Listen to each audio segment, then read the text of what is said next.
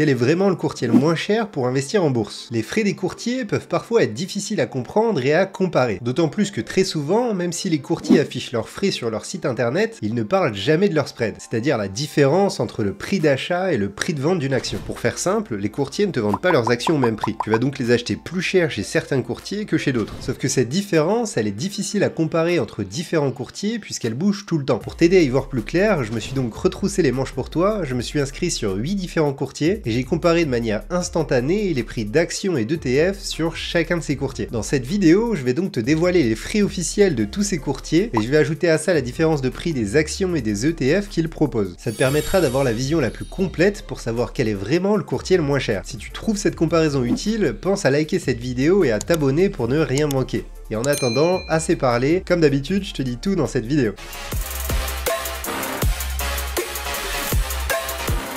Cette vidéo est la suite de ma vidéo dans laquelle j'avais comparé des courtiers sur différents aspects comme la fiabilité, les produits proposés, mais aussi les frais. Vous avez été plus de 2000 à la liker et à demander une analyse encore plus poussée sur les frais. Comme promis, je vais donc aujourd'hui approfondir la comparaison de ces frais en incluant cette fois-ci le spread. Pas de panique, si tu n'as pas vu la précédente vidéo, tu peux la regarder avant ou après car elle est juste complémentaire à celle-ci. Aussi, si t'es un peu perdu avec le terme spread, t'inquiète pas, je t'explique tout à l'heure plus en détail ce que ça veut dire. Je te propose de commencer cette comparaison par les frais que j'appelle les frais officiels, c'est-à-dire ceux qui sont affichés sur les sites des courtiers et facilement accessibles. J'avais déjà fait ce travail dans ma précédente vidéo et je vais donc utiliser ces données comme base. Ensuite, on pourra ajouter à ça l'impact des spreads. Dans ma dernière vidéo, j'avais comparé 13 courtiers, mais pour simplifier la collecte de données, j'ai réduit la liste à 8 courtiers considérés comme les moins chers hors spread. Parmi ces 8 courtiers, on avait en dernière position Boursobank, eToro et DeGiro. Boursobank était pénalisé par ses frais fixes élevés sur chaque transaction et notamment sur les actions américaines. eToro de son côté n'avait pas de frais fixes mais avait des frais annexes qui posaient problème. On avait notamment 0,5% de frais sur tous les dépôts et les retraits avec une conversion automatique des dépôts en dollars et 5 dollars de frais de retrait. Enfin, DeGiro était pénalisé par des frais fixes de 2 euros par transaction. Ces frais sont moins élevés que Boursobank mais plus élevés que les autres courtiers dans le classement. Les deux courtiers suivants dans le classement, c'était Bitpanda et Trading 212 avec une structure de frais similaire. Ces deux courtiers ne prennent aucun frais fixe et essayent de se rémunérer sur d'autres aspects. Trading 212 se rémunère notamment sur les frais de conversion en devises c'est-à-dire que si tu fais un dépôt en euros et que tu achètes une action Amazon en dollars par exemple, eh bien tu payeras 0,15% de frais de conversion. Du côté de Bitpanda, sa principale rémunération se porte sur le spread, puisque tu payeras environ 0,5% de frais sur chaque transaction. Enfin, les trois premiers du classement étaient Interactive Broker, Scalable Capital et Trade Republic, avec encore une fois des frais assez similaires. Pour ces trois courtiers, les frais fixes par transaction sont environ de 1 euro. Néanmoins, sur Trade Republic et Scalable Capital, tu peux éviter ces frais en utilisant l'investissement programmé. Ça te permet d'acheter régulièrement et automatiquement des actions sans frais fixes. Par exemple, tu peux investir 20 euros par mois sur Apple de manière automatique. D'ailleurs, une astuce avec Trade Republic, c'est de créer cet investissement programmé puis de l'arrêter juste après l'achat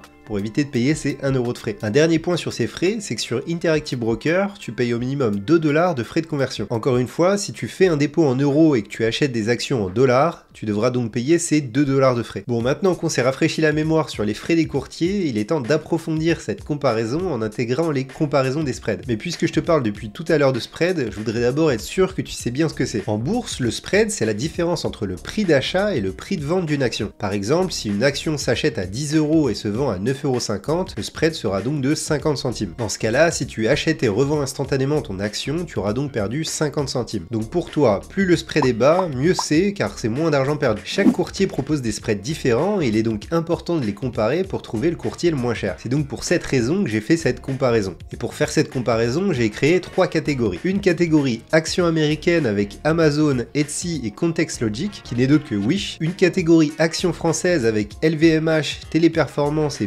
Et enfin une catégorie ETF avec un ETF CAC 40, un ETF S&P 500 et l'ETF European Technology Stocks qui a une capitalisation moins importante. En gros, l'idée était d'inclure des entreprises ayant des capitalisations différentes pour avoir une analyse complète. Bon, une fois que j'avais créé ma sélection, il était temps de faire ma comparaison. Pour faire cette comparaison, je me suis connecté sur tous les courtiers en même temps, je suis allé chercher les actions que je voulais comparer, j'ai mis toutes les fenêtres côte à côte pour pouvoir prendre un screenshot. De cette manière, j'ai pu comparer tous les prix d'achat et de vente de manière instantanée. Seul problème sur eToro, Bitpanda et Trading 212, les prix d'achat et de vente des actions ne sont pas affichés. Alors je me suis pas avoué vaincu, j'ai donc fait un dépôt sur chacun de ces courtiers pour passer des ordres à chaque fois que je prenais un screenshot. J'ai acheté et je revendais donc directement chacune des actions pour avoir le prix d'achat et le prix de vente de ces trois courtiers. Ça n'est pas le plus précis, mais je pouvais malheureusement pas faire mieux puisque les prix n'étaient pas affichés. Un dernier point à noter avant de te dévoiler les résultats, c'est que j'ai comparé plusieurs fois la même action à différents moments de la journée. Ça m'a permis de faire une moyenne et de réduire l'impact des fluctuations de prix. Donc pour résumer, pour faire cette comparaison, j'ai pris des screenshots de tous les courtiers en même temps. Pour certains courtiers, j'ai acheté et revendu des actions pour avoir l'écart de prix. Et enfin, j'ai comparé plusieurs fois la même action pour faire une moyenne globale. Et maintenant que tu sais comment j'ai fait cette comparaison, il est temps de passer aux résultats. Et au passage, si tu veux me remercier pour tout ce travail qui, tu peux l'imaginer, était un travail passionnant qui n'a pas du tout pris des dizaines d'heures, n'hésite pas à liker la vidéo, ça fait toujours plaisir. Bon, si on commence par le dernier de ce classement lié au spread, on a d'abord Bitpanda avec un spread moyen très important de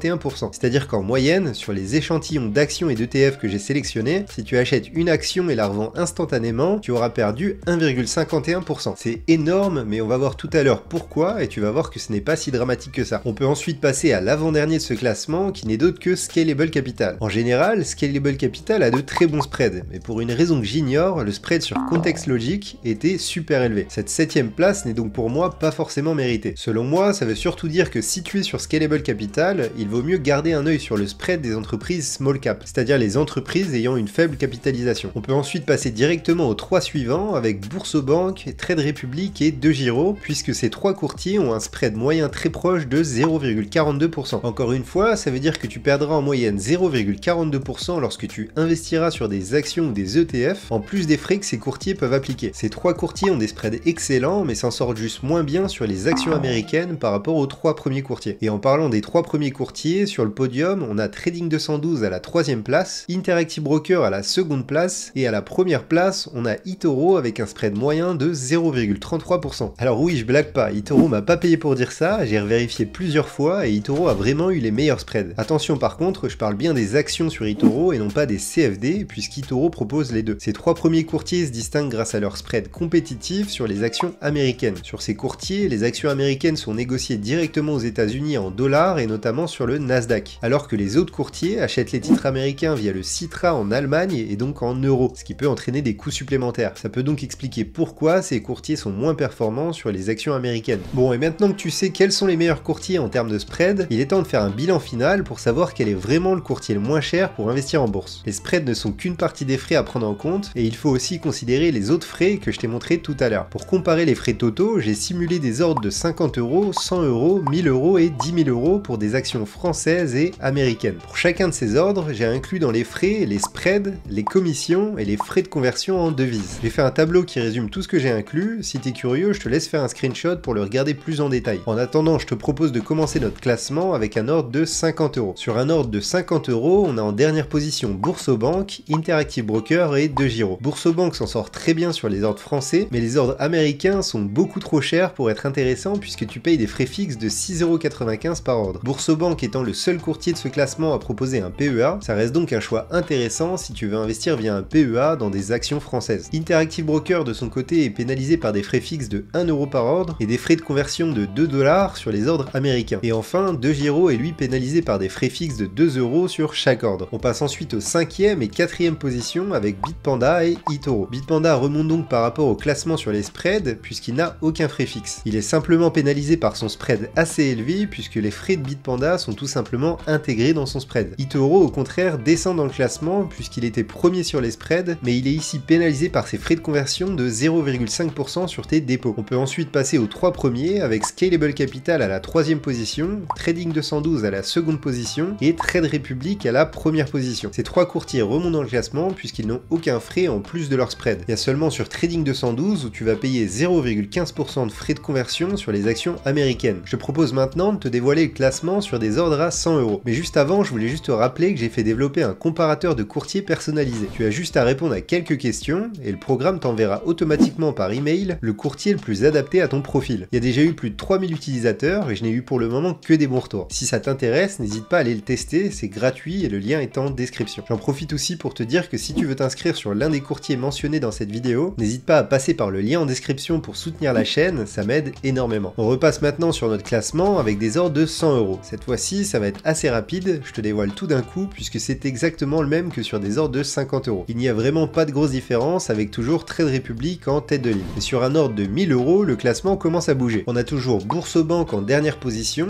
mais on a ensuite cette fois-ci Bitpanda et Itoro qui suivent. Ces deux courtiers appliquent des frais variables et ne sont donc pas intéressants si tu cherches à passer des ordres importants. Dans ces cas-là, il vaut mieux se tourner vers des courtiers ayant des frais fixes. C'est d'ailleurs le cas d'Interactive Broker, de Scalable Capital et de De Giro qui suivent dans le classement. Ces trois courtiers ont des frais totaux similaires, mis à part qu'Interactive Broker reste plus intéressant sur des actions françaises grâce à son spread compétitif. Interactive Broker est simplement pénalisé sur les actions US à cause de ses frais de conversion en dollars. On a ensuite en deuxième position Trading 212 et en première position, encore une fois, Trade Republic. Trading 212 aurait pu aller chercher la première position sans ses frais de conversion sur les actions américaines. Trade Republic garde donc aussi sa première position sur un ordre de 1000 euros. On termine ensuite avec un ordre de 10 000 euros et là les choses changent beaucoup puisque Trade Republic n'est plus en première position. Si on commence avec les trois derniers, on a toujours Boursobank, Bitpanda et eToro pour les mêmes raisons qu'évoquées tout à l'heure. On a ensuite Scalable Capital qui perd une place et Trading 212 qui passe donc de la deuxième à la quatrième place. Encore une fois, Trading 212 est pénalisé sur ses frais de conversion puisqu'il s'en sort très bien sur les actions françaises. On a ensuite De Giro qui ne bouge pas à la troisième position et cette fois-ci Trade Republic à la deuxième position. Ces deux courtiers s'en sortent très bien, mais Interactive Broker passe à la première position